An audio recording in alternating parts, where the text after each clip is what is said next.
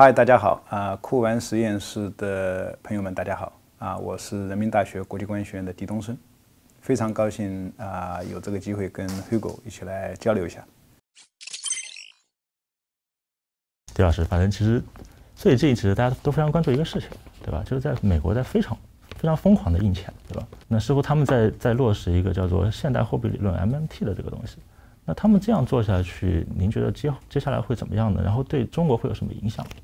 这个 MMT 现代货币理论啊，他们的核心主张呢，就是说认为，呃，其实跟我一贯说的那套东西是有相近之处，就是本币债其实它不是债啊，它是一种税，就是我用我用我用敌币来买你的东西，买买买这个消费各种东西，呃，我永远不会破产啊，因为到时候这个我用敌币计价的债。到期了，我可以发无穷的债，而且更重要的是利率我可以调，是的，利率我说了算啊。早期我可能要忽悠你们上这个上套的时候，我可能呃给一个比较高的利率啊，百分之十、百分之五啊。那么到后边我觉得自己有麻烦的时候，我把利率降成负的，这不就是我欠你们钱越来越少嘛，是吧？那么借债还钱，欠了债啊，你陷入麻烦是吧？这个黄世仁可以剥削杨白劳是吧？可以可以这个。压迫杨白劳啊，这是二维世界的问题，这是金本位时代的问题。到了今天这个世界，你你仔细体会一下，是不是有钱人和富国都有大量的负债？是啊，穷人都有大量存款，穷国有大量存款。对，现在是穷人存款，穷人存款，富人欠债啊，富人欠债。哎，那他背后这个逻辑，而且是什么呢？是欠债的是爷啊，对，存款的。反而是什么一直在做杨白劳，所以呢，我们会看到具体表现形式呢，就是说，美国政府向全球征了铸币税，它导致全球，因为它美元是全球货币啊，所以全球都有通胀。注意啊，不光是美国，欧洲也是啊，是吧？欧欧洲央行资产负债表也在同步扩张啊。是啊，那么中国这边呢？呃，中国这边我们没怎么扩张，没怎么扩张啊。中国这边因为呃我们的必要性不是太大，原因何在呢？因为我们啊应对疫情成功。是吧？那么，而且呢，全球三大供应链，北美、西欧、东亚，东亚供应链最大，而且更重要的是，东亚供应链最先断裂，然后最先恢复，最先恢复，是啊，而且恢复了，呃，恢复的效果最好。那么，所以呢，这次疫情冲击之后呢，我由于我们最先走出这个供应链断裂，走出疫情，所以东亚这边的制造商啊、出口商迎来了啊意想不到的一个。啊，这个这个黄金时代，所以呢，呃，那么这个过程中就是说，由于美欧大家一起在印钞票，嗯，啊，他们都在向全球征收，相当于向全球征收铸币税，对是吧？这个主要是美国，那么其次有欧洲，呃，征收铸币税干嘛呢？给自己老百姓，是吧？尤其在美国啊，我们看的最典型的就是，呃，直接给美家美户发钱，所以美国的储蓄率大幅飙升呐。好了，这里边就是我们看到一个明显的再分配效应。啊，就是我是搞政治经济学研究，国际政治经济学研究。我们跟纯经济学的差别在什么地方？纯经济学研究福利增长，研究什么技术进步，研究什么这个那的创新啊，这个那的。但是他们比较少关注再分配，而我们国际政治经经济学呢，尤其关注这个各种经济政策、各种经济现象背后的再分配效应，就是剥夺了谁，补贴了谁啊。这个事情到底伤害谁？你觉得美国在发钱是剥夺了谁，补贴了谁呢？那剥夺了全世界，剥夺，尤其是剥夺了全世界的这个穷人，因为总体上来讲，刚才我讲过了，七十年代之后，总体是穷人在存钱，而富人都有负债。是，啊，因为金融资源的分配，信信贷资源的分配，基本上是，是是富国才能借到钱，是是，啊，是富人才能借到钱。你越有信用，你越能越能借到钱。对。所以呢，那他把这个利率压到零，那穷人存的钱是不是就没有收益啊？啊，甚至有负收益啊？啊，然后呢，他印了很多钞票，那这些过剩的流动性追逐各种商品和服务的话，那通胀实际通胀就蹭蹭起来了。哎，只要这个货币体系在持续，只只要这个泡泡继续按照它原有的节奏在膨胀，是，那么，呃，它这个放水就没问题。但是有它膨胀不下去或者泡泡破的可能性吗？你觉得？理论上来讲，嗯，是无穷的。OK。啊，它不会说到某个极限，然后它砰破了，没有，是，因为必须得有一根针在那等着的时候，是，它才能破，没有那根针，理论上它就是无穷。所以现在的根针有了吗？现在那根针需要设计，需要设计啊。OK。那么要设计这根针呢，你就需要在底层逻辑上要理解，你要敢于想象一个这个非美元、非欧元的一个世界。因为您之前讲过一些观点，就是其实我觉得很多观众都觉得挺挺欣喜的，对吧？比方说中国可以清空中国的外汇储备，外汇储备啊，比方说我们可以让人民币升值，比如升值到五块、五块五，嗯，呃，一一五块五人民币兑一美元，一美元，对吧？嗯，得出这些观点，首先它源头就是说，嗯，对于全球的虚拟经济、货币体系、货币金融体系和全球的实体产业，它的竞争是吧？它的分工。你必须既要看到虚拟的虚的那一面，就货币那一面，又要看到实的那一面，产业、科技啊，这个就业是是吧？通胀那些问题，你把阴和阳两个放在一起讨论的时候，才会得出我那些结论。如果你光看阳的那一面，那对不起，你就会跟着原先那个思路走，你就会认为，哎呀，你看我们中国现在外汇储备又增加了，感觉自己肌肉又又又强大了。是吧？你觉得，哎，你看我们这个这个就业数据非常好嘛，是吧？觉得我们的这个经济建设成就又又非常好，你就会顺着这样一种思维走啊。那那其实就挺可悲了。那这个他许多人只看到成绩，看不到代价啊，只看到这某一个政策的好处，他看不到代价。许多时候，所有东西都有代价。是。那这些代价呢？呃，短期你可以忽略，长期累积性的结果，可能导致什么呢？导致非常巨大的这个损失，导致你可能，呃，我经常说，有的人呢，他就像这个这个笼子里边的老鼠，老鼠拼命的跑，对，在笼子拼命转，老鼠觉得自己跑得特别快，其实，在别人看来，你还在原位，他很努力，很卷，很努力，哎，很卷，他就在很卷，哎，就是他做的许多是无用功啊，然后呢，他自己觉得自己非常努力。具体到这一轮的 MMT 这样的发钱，对中国会有什么影响呢？对中国影响就是短期我们的这个出口制造商日子很好过，是不是？因为他这个钱是全球流动性啊，全球流动性，所以是美国人买我们东西，然后其他国家也买我们东西，因为全球它这个流动性就就全球都上上去了啊，这是它好的方面。另外一方面，它全球的这个通胀，你想我的东西出去了，别人的钱进来了。啊，那如果我要为了维持我的汇率不升值的话，我央行就得印钱买它。那么理论上来讲，我这个钱就会，要么我就做对冲，如果不做对冲，我的呃广义流动广义货币也会增加。所以，我们经济体内流动性增加，东西出去了，流动性增加，那我们的通胀也会跟着走，是这意思吧？但是我们选择了最近我们的选择似乎是容许人民币一定程度上的升值。对。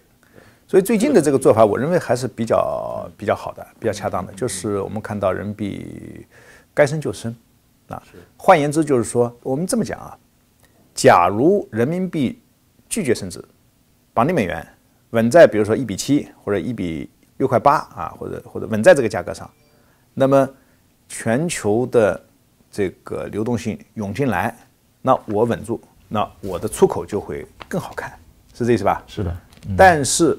相当于什么呢？相当于就是说，美国日子难过了，全民放假在家啊，这时候劳动者少了，是不是？需求增加了，发了很多产品，需求增加了，这时候全中国人加班加点，赶紧伺候美国大爷，让他们过爽了。我们的劳动，我们的污染，换他的绿植啊，换他的，换他的这个，换他社会稳定嘛？换他社会稳定，不就我们帮他稳住难呃渡过难关吗？那他们现在全世界面临高通胀，那中国呢？假如说我们压住汇率的话，相当于我们帮全世界来承担较大一部分通胀压力。我们输出通缩，我们把通缩的力量输出给人家，相当于人家血压升高，我们帮他降压。但结果代价是我们血压往上飙。啊，那最近呢，这个我们看到政治局的会议的精神是什么？要管控好通胀。所以呢，呃，落实中央的精神的话呢，这个人民币汇率其实最近就是说，呃，没有进行人为的去管控啊，没有央行下场去干预这个汇率。呃，但是呢，实在是美国、欧洲印钞票太多了，我们人民币该涨就涨，也就是说。我已经不愿意替你美国继续承担你这个你的通胀压力，通胀压力了。嗯，你的社会维稳的压力。哎，我不帮你维稳了。对啊，你你自己看着办吧。他们的总统贸易代表啊，戴奇小姐是吧 Catherine 戴啊和这个 Jenny Yellen 啊，戴呢跟咱们这边通话的时候口气还比较强硬，啊，好像我你看这个特朗普给我留了个遗产就是高关税是吧？哎，你你得怎么怎么样啊，否则我怎么怎么样。但是呢，叶伦可能就口气就谦虚，为什么？叶伦是财长，啊，他是要要玩转这个财政开支，呃，还包括这个协调央行，还有什么通胀，国内的通胀啊这些方面的，所以他一方面不得不发钱，要不然整个经济维持不下去，但不得不借债发钱是吧？发钱发钱来买他的债，然后买了债之后借到了钱。真的相当于向全球征收作弊税吧，然后给自己老百姓发钱啊，呃，但另外一方面呢，他又要控制好通胀，就是 MMT 现代货币理论啊，实践中他们已经这么干了，对，但是这个还是有还是不好意思公开挂牌营业的啊，实际中他已经是卖了，但是不好意思公开这个公开这个放进橱窗里边啊，所以呢。呃，他们还要假装啊，我还是要这个，这演的有点累了，都已经啊，所以呢，他就说你看这个这个看起来这个几百亿美元一年的关税收入，别看着很跟他那个数量级差差两个数量级的，但注意了，就这个钱对他来讲，对于他至少面上好看，对，哎，为什么呢？就是说每年，呃，美国联邦政府它的财政开支三点五万亿，嗯，那你比你这个。比你这个千亿不到，是不是也要大不少啊？嗯嗯嗯嗯。但问题是，那三点五万亿中间绝大部分是是是这个固定的，是国会授权的，是容得你总统有回旋余地的极少。就总统没有什么回旋余地，说哎，这笔钱啊，这个我不花在医保上，不花在社保上，不花在军费上了，我准备放到比如说建墙建墙上。你看建墙他花多少钱？建墙几十亿吧，几十亿，百亿吧？对对，没钱。你发现没有？所以这个事儿，你别小看他。这是总统小金库是吧？总统小金库，哎，这是他可以额外弄来之后，他相对比较自由的这个。是。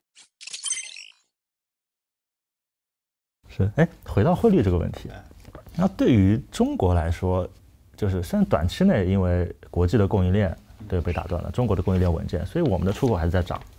但是汇率，我们的人民币升值太太猛之后，可能会。大家会担心，对于我们的出口，对我们的制造业会有非常长期的负面的影响。这个首先我们看最近人民币汇率有没有升值，啊，你看人民币对美元，人民币好像升值了，是不是？是。但你人民币这个我们实际的贸易伙伴，美国只是其中一小块而已。第一大贸易伙伴东盟，第二大贸易伙伴欧欧盟，呃，那欧元区啊，然后才轮到美国。所以呢，要看的指数啊。看一下 CFET 人民币汇率指数，那这个过程呢，主要是美元贬的厉害，对，啊，也就是说，呃，美元相对于其他一篮子货币都在贬，相对欧元、英镑、日元、加元是吧，都在贬，所以呢，人民币相对美元升值，但是我们相对于其他的主要贸易伙伴，并没有出现明显的升值，嗯，啊，对个别货币升值贬值的，是，也就是有还有别的货币比我们升得更猛。换言之，我们的出口商他在做买卖的时候，东方不亮西方亮，出口到美国的，哎，显得好像我的东西变贵了，但是我出口到别地方的，欧洲的啊，别地方的，我可能还反而占便宜了。但如果像您之前所说，比方说人民币升值到百分之就是五五五比五五五点五或者五的话，那会怎么样？那是不是会造成一些很多制造业的工厂大幅大面积的破产？呃，我认为人民币长期来看，不但没有贬值压力。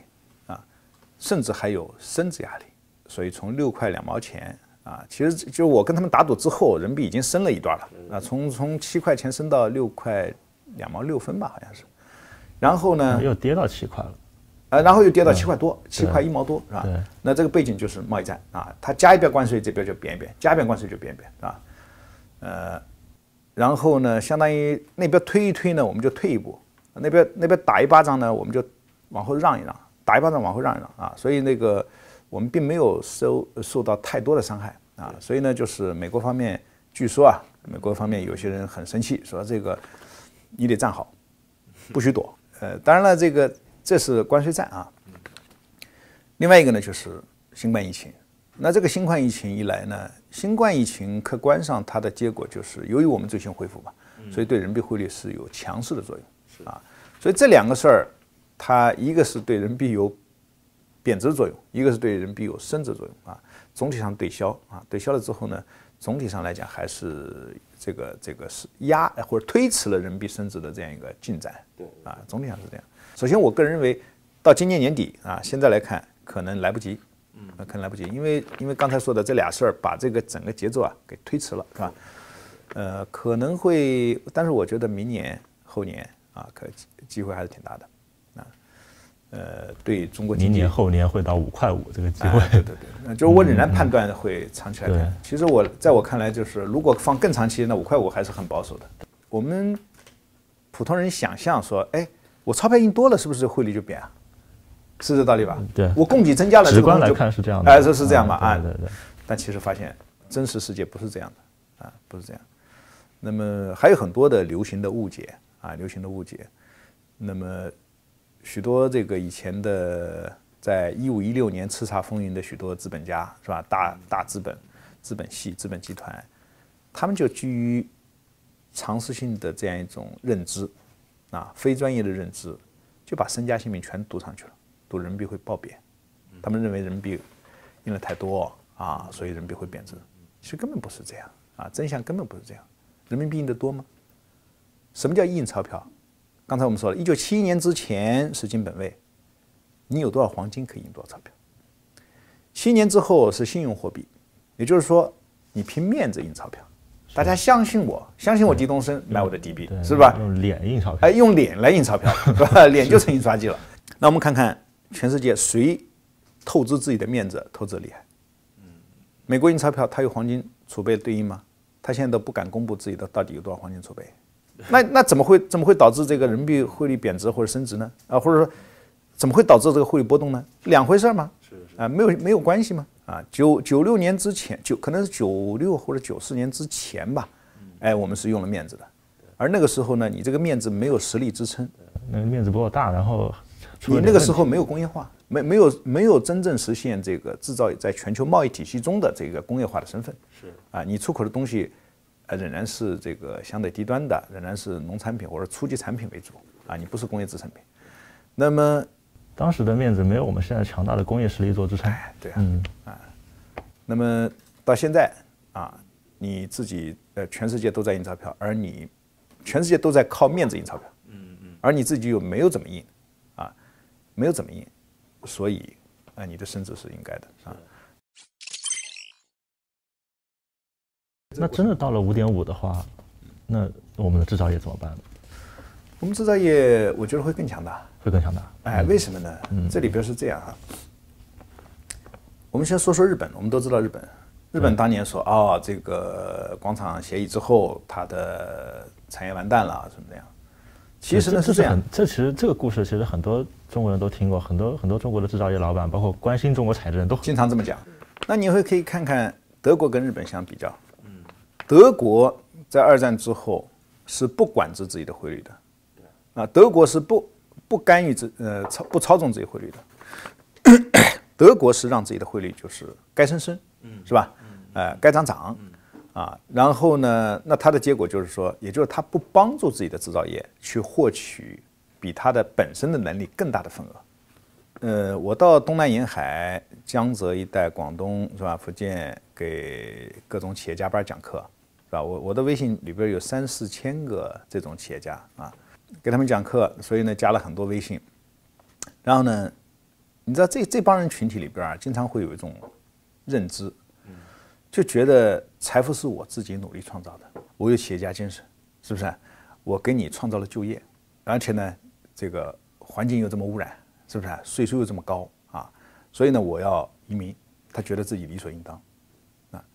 然后呢，我给他们讲课的时候，那关键是给这个群体讲课的许多的学者，尤其经济学者，往往是自由主义者，对，还去迎合他那个，他去迎合这种情绪，他们讲的这个道理呢，又是类似于这种道理，觉得财富是私人创造的，尤其企业家创造的，是不是？所以呢，这个这个政府收你税好像是不应该的啊，政府对你进行各种管制，是吧？好，那我讲的是另外一方面道理，我讲的道理说。为什么在过去的四十年里边，你本来就是个农民，是吧？到田里边爬上岸，啊，有个朋友这么讲，他说我裤管都没放下来，我到现在裤管都没放下来，就是当年年轻的时候做农民的时候形成的这个习惯。你本来一农民，凭什么你就是做制造业你就发财了？啊，是是完全是因为你的本事、你的努力吗？是你这你就水平高吗？你天生就会做一个企业吗？做一个制造业企业吗？我说不是这样的，为什么？全世界好多发展中国家，有好多你这样的人。嗯他们可能比你更努力，是，他们外语比你更好，也就是说，在国际市场上去打交道，人家比你有优势，人家本来就能够说不错的英语，人家的祖先也有当地也有商业文化，不是说你这儿就有商业文化啊，那为什么他们的制造业做不成，而你的制造业做成了，是吧？就说我们人呢，其实。要成功都离不开平台的支持，对，都离不开历史的进程，历史进程离不开平台支持。嗯嗯，你的成功许多是什么？是是历史的进程和平台支持了你，啊，但是许多人呢，他会觉得是我自己有本事，他意识不到那是运气或者是体系的力量。我说为什么九十年代中期之后？九，尤其是九二年小平同志南巡讲话之后，你东南沿海制造业企业迅速发展起来。啊，为什么之前很难发展？你的出口产业在全球没有竞争力，为什么？背后就是人民币汇率的，从八十年代早期的一比一点五、一比二左右啊，当时有几个价格是吧？多轨，一路贬到八块七毛钱，后来长期稳定在八块两毛八、八块两毛九。啊，这是一。也就是说，本土要素价格给你降低了，啊，所以你这个东西，你你在当地，只要你招招了几个几个人，搞得定几个人，大家一起来生产个东西，你这个东西价格就出去有，所有东西都被便宜了，对吧？被便宜了嘛？对啊，你的价格有竞争力。嗯，你污染环境有没有抓过你？是不是？啊，有没有用高标准的高标准的环境条件来约束你？那其实你是向本地居民征收了一个环境税啊。是，其实你是向本地居民征收了环境税啊，然后补贴了你这个小买卖啊。你有没有给工人交五险金？啊，你后来才交，早期你交过没有？啊，你交的五险金什么标准？嗯啊嗯，工人有没有这个那个的权益？是吧？如果我们按照国际国际工会组织那些标准来弄的话，你那早早完蛋了。是啊，即便到现在，对吧？很多工人也是。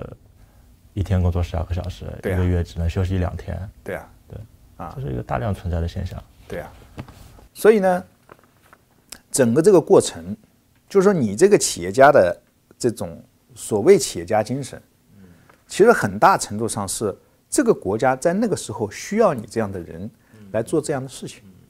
哎，你呢就在这个时时候呢就踩在风口上了，对，所以你就成功了，就飘起来了。啊，然后你觉得好像这个国家欠你很多。在当年，你的确是功臣，因为当时我们是个农业社会，我们需要尽快的想办法解决大量的非农就业，从农村里边转移到城市的郊区，是吧？进入工厂，哎，这些你给他们创造这个条件，你之所以能够做得成，是因为国家给你创造了条件。是啊，好了，所以在这个意义上，国家向你收必要的税，这是非常合理的。那么你再具体到比如货币这个问题上来啊，许多人不理解这个汇率，这个这帮企业家因为受了一些自由主义经济学家的这个启发吧，他们就老骂这个中国政府印钞票啊。我告诉他们，我说别的地方的人都可以骂中国政府印钞票，唯独你们这儿，你们这个群体是没资格骂的。为什么？然后我就给他解释为什么要为什么要印钞票？为什么印钞票？是因为美元来。为了避免美元进来的时候导致人民币汇率升值，所以央行需要印钞票，央行资产负债表扩张。回到那刚才那问题，为什么要买买这外汇啊？因为如果不买这个外汇，人民币汇率就上升了。人民币汇率上升了，我说你们这些小老板，你你做什么老板？你很快你就干不干不成，你跟印尼的、跟菲律宾那帮小买卖的人没什么区别，你不可能成长。啊那好了，你现在发财了，然后你家的房子变值钱了，是不是？你在中国东南沿海大城市里面买的大房子蹭蹭涨了，那背后是什么？背后是中国中部地区、西部地区、北部地区、东北地区，他们那地方的年轻人跑到你东南沿海来就业，他带来了他来打工，他一方面自己帮你一块创造了财富，另外一方面他的消费在你这个地方，他的买入房产的行为在你这个地方。所以你这个地方的地方政府的土地财政收入又增加了，土地财政收入增加了，地方政府的能力更强了，又可以给你们提供更多的公共产品，提供更好的基础设施建设。所以你当地你就形成了良性循环，而他们的家乡凋敝了。他们的父母跑到你东南沿海来打工的那些年轻人，他们的父母交了几十年的铸币税。是吧？当年跟你们你们两个地地方财政呃这个这个地方的财政水平啊，地方的发展水平、人均收入水平是差不多的，甚至北方可能还比你还还好点儿。但是形成了这个循环之后，这个花开在你这儿了，营养是从那儿吸取的。这里边财益再分配、财富再分配过程，是你这儿的出口收入增加了，是不是啊？你这儿基建提高了，你这儿的房产价格提升了，你这儿的信用贷款能力增加了。所以这里边有个再分配过程，啊，然后而且它累积下来非常巨大，所以我说，北方的、内地的，你可以有的确有资格骂央行，说啊你太坏了，印钞票，啊我我存的钱不值钱了，但我说唯独你东南沿海的这些小老板，尤其搞制造制造业、出口业和房地产业的小老板，你没资格骂央行，你们是受益者，没有这种行为，你根本做不成今天。到了今天呢，我们已经没有那么多未受高等教育的年轻人需要到厂子里边打工了，啊，根本就找不到人，所以，所以他们这个现在招人确实困难，非常困难，招人非常困难。呃，不光是最近出口旺盛的招人困难，就前几年出口买卖比较低迷的时候，他们招人也非常困难。对，啊，那为什么呢？原因是什么呢？有人说，哎呀，现在不就是年轻人躺平吗？年轻人懒吗？我经常说。我说不是啊，我跟这些也是在这些课上，我跟这些企业家说，根本不是他们来，是你们这帮人来，是你们这代人来，是啊，是六零后的人来，七零后的人来，为什么呢？因为你不愿意生孩子。那么，一九六三到一九七零年，我们每年出生的人是呃大概两千七百、两千八百万左右。所以呢，那一代人里边没几个人受过高等教育，只有百分之一二、百分之三左右的人能够受高等教育，也就是大多数人只能进厂子里边拧螺丝吧，对，或者海底捞里擦桌子吧，对。但是呢，现在这一代人老了，他们就退出劳动力市场，啊，然后呢，什么人填补呢？其实就应该是他们的孩子们，六零七零后他们生的孩子们，他们生了多少孩子呢？他们只生了这个每年一千五百万人。但是这一千五百万人里边还有七八百万是读大学去了，读了大学就不愿意进厂子里边了。是，换言之，能够进厂子里边来接替这个每年两千多万退出劳动力岗位的这个群体的低端劳动力就业岗位的，能够填补的就一千万不到。所以换言之，即便我们的出口零增长，即便我们的制造业零增长。就是低端就业啊，或者劳动密集型的岗位，仍然是招工难。前几天，呃，我有一个呃学员吧，就是经常听过我课，然后经常跟我微信里边请教关于汇率啊、全教政策的。他问我说：“这个狄老师下边怎么样？”告诉我最近生意非常好啊。最近大家生意都非常好啊，最近生意大非常好啊，很高兴。那我问他，我说：“你们有没有科技含量？啊，你有没有升级？”他说：“没有，我们就还是。”非常传统的是吧？啊，污染呢多多少少有一些是吧？这个但主要是靠工人工人们努力是吧？工人少少有一些啊，多少 这这十二 对那个这个这个每天干十二小时的工人啊，这个二十四小时连轴转啊，这个那我告诉他呃，我说我说人民币汇率升值有没有影响你？他说暂时还没有啊，因为就刚才我说的这个道理，就是说对美元是升值了，但是对这个对对全球并没有明显升值啊，嗯，所以他日子非常好啊。那我说，趁着现在印度和越南它的供应链、它的生产环节没恢复，也就是你这个买卖非正常的，又好像回光返照。对，啊，我说你就把你这个买卖，要么你升级，要么就该卖了它，你就卖了它，别做了。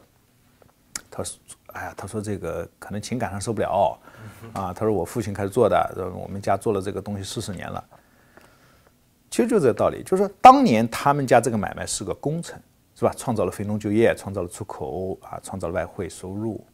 但到了今天，其实你可能是罪人。为什么？要想维持他这样的买卖，就没有技术含量、污染带有一定污染的，然后更重要的是什么？靠。”剥夺工人才能够活下去的，靠低汇率才能活下去的买卖，我们整个社会为他们支付的代价太大了。许多人不理解，说这个，哎呀，你看他们是实体经济啊，你不能用笼统的一个实体经济概念来描述所有东西。是，就像你生了生了，比如说十个孩子，是吧？你你的总的资源是有限的，对，是吧？你要说最不争气的，如果你要让最不争气那几个孩子过得都挺好。那你一定是什么呢？是压制了你的机会成本很大，就是本来那几个可以这个有出息的孩子，他们获得资源减少了。所以在您看来，其实我们通过这个去去压低人民币汇率的方式，去补贴了那些低端的、高污染的、低工资的、剥削工人的那些制造业，其实是压低了那种可能可以产业升级的那些高高端的制造业、高端的产业。对，这个怎么理解呢？这里边机制啊，相对比较复杂，它的作用作用渠道是多维的啊，多元的。然后呢，它这个传递的这个环节也比较多啊，它是一个整个体系性的作用。就是说，刚才我说了，你可以把它理解成你一个当家的是吧？你一个当妈的，你养了十个孩子是吧？里边有有成有这个有潜力的，有不成才的是吧？好吃懒做的。呃，还有的的话话呢，就是会哭的，是吧？整天找你呃，这个娇滴滴要这个要那的，是吧？呃，好了，你如果爱心泛滥，啊，说每个孩子我都要让他们过得一样，那结果其实什么？是对那几个真正有潜力的，将来能够光耀门庭的，能够真正改善全家生活水平的那几个孩子是不公平的，因为你的资源有限，你压低本币汇率。比如说，刚才说，那你就要么卖卖入外汇储备，是吧？你就肯定干预市场嘛。你干预市场的结果，你干预市场结果啊，呃，就是你的资产负债表扩张，是吧？就多印钱，外汇占款增加。但问题是我们必须得动态的来看待这个这十个孩子，到底让谁啊先哭一会儿，让谁有更好的机会去。往上读书是吧？然后往上升级，最后你这一家人家在地球村里边，最后有更强的这样一种地位，谈判地位。所以刚才聊到，其实人民币汇率升值，据狄老师看来，其实反倒对于中国的高端制造业、高端的产业，反倒会有一些帮助，会有一些争议。这个怎么理解呢？这个呢，以前没什么人讨论过这个问题。呃，原因呢是就是它的这个帮助啊是很间接的，虽然是非常系统性的，有很大的这个帮助啊，其实长期来看有很大的帮助，但是它不是那么直接啊。那么所以这帮制造呃这个高端的科技产业呢，他们也没有人会雇了写手帮他们发声，要说要这样干啊。但其实这里边长周期来看，你站在整个系统长期体系性的运行来看，我们人民币汇率升值呢。汇率保持强势吧，啊，那么它是有助于我们的呃高端的啊，嗯，比如说吧，第一个机制啊，我们说从需求角度来讲，呃，现在我们华为的产品在全球很多地方遭受打压，嗯，啊，美国人美国人打压，美国人打压的理由就是说啊，这个这个华为这家公司啊，反正就是我的敌人是吧？谁用它我就制裁谁，谁这个你你要买华为啊，你就。这个别卖东西给我了，啊，美国的对别的许多国家制裁，它是有很多手段，其中很重要的一个制裁的权力杠杆就是它是全球最大市场，大家都想把东西卖给他，是不是？好，以前呢，中国是全球第二大市场，我们进进口的不是消费品为主，我们进口的主要是这个主要是这个原材料为主嘛，啊，所以呢，这个谈判地位又又又不太一样啊。进口原材料的时候，有的时候你还反过求人家呢，是吧？我要进口铁矿石，你别加价，是不是？我还反过来求你啊？但我要进口你的劳动产品的时候，不是进口自然资源，我进口你的这个生产的服装、鞋袜、箱包，我解决你就业，对，是吧？这个时候，那我对你谈判地位就很强了。反过来了，而且你那个替代性可可替代性很强啊，是吧？我买你越南的东西，或者我买你菲律宾的东西都可以啊，是吧？没有什么没有什么大不了的。所以这个时候，我们的谈判地位才强。所以呢，呃，就是说，假如有一天中国取代美国成为全球第一大这种消费品的进口市场的时候，我们就很强势了啊。比如美国跑去找，好比说越南啊，或者找菲律宾，说你不许用华为手机啊，你不许买华为的什么这个这个设备那个设备。那中国出出来说，你不许设置人为的不公平的障碍，来这个限制我的高科技产品啊，否则什么？否则我不买你的服装、鞋袜、箱包。所以呢，你看这里边其实就是一个你在地球村里边，你总得买人家东西吧？是，啊，因为如果你只卖东西给别人，你不买人家的东西的话，别人手里就没钱付你东西啊，是不是？那那怎么办呢？到最后那怎么办呢？那卷到最后不就是人家印张纸票付你买你东西吗？是这逻辑吧？那这个这个这个就就荒唐了，这就荒唐了，自己就是给人家交作弊税，要么你自己给人家作弊税。要么你就什么呢？就是这个，这个这个，就是说你没得买卖可做，啊，就内卷是吧？所以呢，你必须得，我们要做的呀，不是说想办法把人家的钱挣光，把人家手里的黄金挣光，把人家手里的纸片挣光。对，别人也是人啊，别人也会反抗的。对，我们要做的是什么呢？要跟人家大家都有活干，但是在这个地球村的分工里边，我干的是最有价值的。我干的是最有前途的，我干的是最高科技、最炫酷的。对我们是产业的核心节点，别人无法而且，互相之间相互依赖度是不一样的。我买你的东西哪都可以替代，你买我的东西无处可替代。我们要塑造的是这样一种态势，这才是我们的目的，而不是说我们手里囤一堆人家印的纸片儿啊，那不是目的啊。那汇率升值了，那我们进口增加，那进口增加之后呢，人家。手里也有钱买我们东西，更重要的是，我们对别的国家有更强的话语权，是要求你买我的，重点买我的好东西啊！我想发展的那块啊，这是一个。还有呢，这个汇率强势之后，通胀就不高啊，通胀就就就比那个汇率弱势的时候要要低一些啊。通胀低呢，呃，或者说整体这个这个通胀是广义通胀啊，要不不光包括商品。服务也包括什么呢？也包括资产价格、资产、房价，哎，房价。那么这个这些年轻人日子就相对好过一些。我的货币扩张，我就我就不用那个干预嘛。或者换一个角度来讲，啊，我不干预外汇市场，嗯，那么但是我的经济还在扩张啊，对，我经济扩张过程中，我需要的货币还增加了，需要货币增加了，我就又新扩张货币吧，但是我。不，我扩张货币不是用来买美元的，买什么？买国债，买自己中国的国债。对，也就是我扩张的是中国主权信用。好了，相当于就是说我继续征收铸币税，从整个这个经济活动中征收了一部分合理的铸币税。这部分铸币税不是送给美国政府去了，而是在中国政府手里。对，中国政府拿这钱可以干嘛？去去投资，去给不是去投资，对吧？他该向民众提供公共产品，比如说多建这个呃公租房、廉租房，对，多比如说基本的保障基本的医疗啊，幼儿园，对，那么老百姓，尤其年轻人活得就好一些，啊，那么这些这些啊，还比如说我多建大学是吧，或者我多建这个研究研究机构，是不是？那我们的科研科研不就是有保障吗？啊，所以这里边啊。就是说它这个就会提升中国自己的消费，对对对啊，最简单的就提升中国自己消费是啊，提提升中国我们可以中国自己的市场就变大了是啊。那么你比如说以前最早的时候，我们为什么不能生产高科技产品啊？或者说我们不为什么不能为自己本国民众生产最贵的那些高科技产品啊？是因为老百姓穷，嗯，是吧？那为什么老百姓穷？那么现在中国已经完成工业化之后。你就应该走强势的道路，所以这个问题啊，我觉得你把日本跟回到回到来讲，我们把日本跟德国相比较一下，日本的特点就是长期在八五年广场协议之前，长期压低本币汇率，拒绝升值，老想占这个便宜。那么它的结果是什么呢？它的结果就是说，它低端的那些啊，活得还挺好，有高端，但是低端的大量的低端也活得挺好。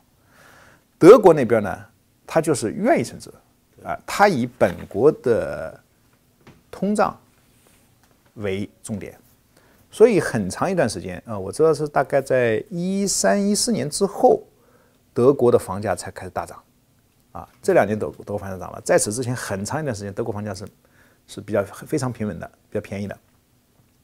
德国是特别怕印钞票来导致通胀和资产泡沫，所以呢，那他要保这个东西，他就要放弃放弃汇率干预。是。那么，所以他的汇率该升升该贬贬啊。那么结果是导致什么？结果导致就是说，他的低端的制造业活不下去的。所以要想做老板，你就得凭本事。什么叫企业家精神啊？你得不断努力。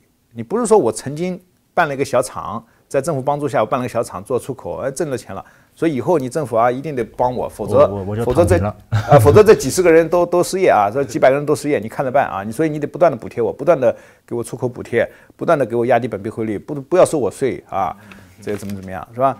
你这是曾经的功臣，你不就现在变成了罪人了吗？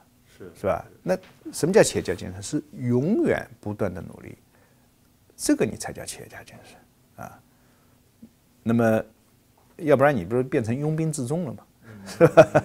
哎，绑架这个政府政策，绑架这个整个社会有集体的利益了嘛？啊，德国制造业非常强，它没有干预汇率，但德国制造业非常强。为什么？就相当于我们对一个孩子，呃，一方面爱他，但另外一方面不能溺爱他。是哎，你该给他，他该承受的压力得承受，该经历的考验得经历，所以他得不断的努力。那德国的企业家呢，他就不断的往上爬，去做那些呃有定价能力的那些买卖，啊，所以呢，我们看，比如说最典型的，我记得有一个指标，到八十年代，就是我们都说八十年代中期的时候吧，就是广场协议开始之前，到八十年代的时候。德国出口商品中间大约是百分之八十八呀，八十五左右是用马克计价的，而日本出口的产品中间只有百分之三十是用日元计价的。这个谈判地位的差距很明显。对嘛？就是我用我选什么货币来计价结算，取决于出口方和进口方之间谈判地位。我如果出口的东西替可替代很强，这个利润率很低，是吧？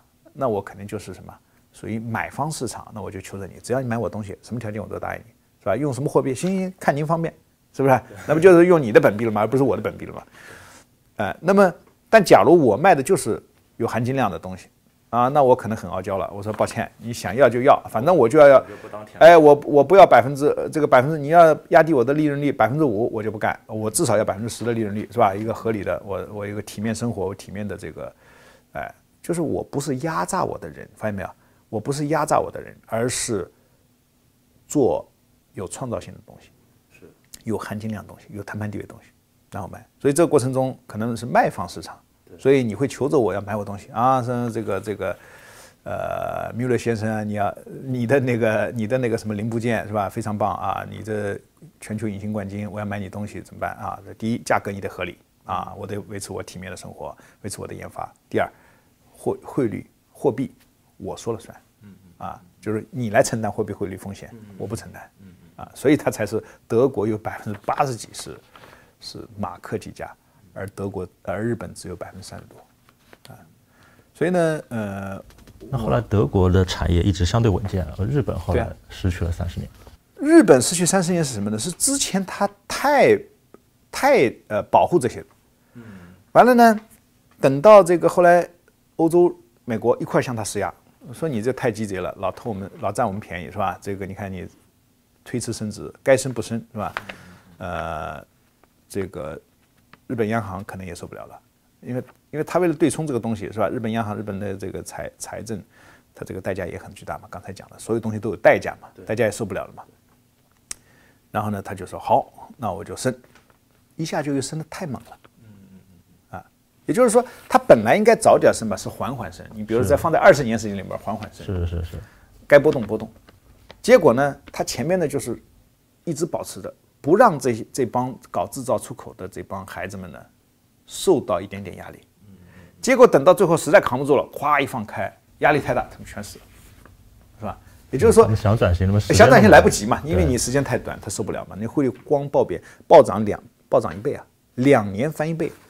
你想人民币汇率，你假如说套着我们现在是，呃，比如说六块五毛钱，对啊，呃，假如二零二三年涨到三块两毛钱，你觉得几家能活下去？肯定都死嘛。那你对宏观经济冲击是不是太大了？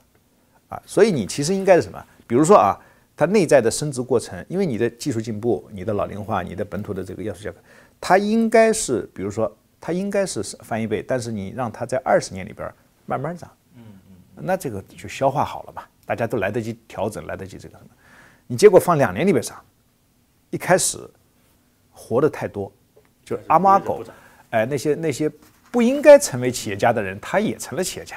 是没资格成为企业家的，没没资格做老板，他也做老板，然后等到夸一暴涨，他们全死。而这个短期呢，它又真正伤害了整个经经济体的健康。然后日本政府没办法了，那怎么办？大规模减息啊，因为经济实体经济萧条啊，这个出口出口行业萧条了，那怎么减息？把利息减下去，把利息减下去来刺激它，来对冲这个对宏观经济冲击，那就又错上加错。为什么呢？你减息之后，就导致资产泡沫，股票、房价暴涨。所以到了九十年代初的时候，一旦破灭，咵一下就不可能了。那所以我们要做的是什么呢？就是说，是保持它动态平衡，就像养孩子一样，不能不爱他，但也不能溺爱他。其实放到更长时期，你会发现他们最后升值的幅度是差不多的。对。只不过德国呢，就是说我该生就生了，我不不去人为的去帮着这个孩子们去获得额外的竞争力，而日本呢，就是老想占这个便宜，最后才。相当于把这个力量压到后背，一次性爆发了，那他就受不了了。嗯嗯嗯，好，这个呃，我呢这个课呢是呃，反正今年年初录的啊，然后呢，终于到现在呢弄完了，然后呢，呃，最近就推出了。呃，我这课程呢其实分两部分，啊，第一部分是前边的六讲。这六讲呢，每一讲大概我记得好像是三剪完了之后三十多分钟啊，介绍人民币汇率是吧？它背后的逻辑啊，是吧？呃，人民币汇率它的波动的规律性的东西啊，还有不光是人民币汇率是吧？全球各国货币汇率是吧？它的波动它背后体现了什么样的逻辑关系，以及啊人民币国际化啊，它为什么要这样做？它产生的后果是哪些是吧？带来什么样的好处？有什么代价啊？呃，这些呢都是知识性的东西啊。